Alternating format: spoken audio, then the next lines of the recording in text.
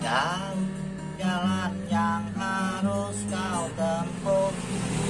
Mungkin samar bang dan mungkin gelap. Tajam kerikil setiap saat menunggu Engkau lewat dengan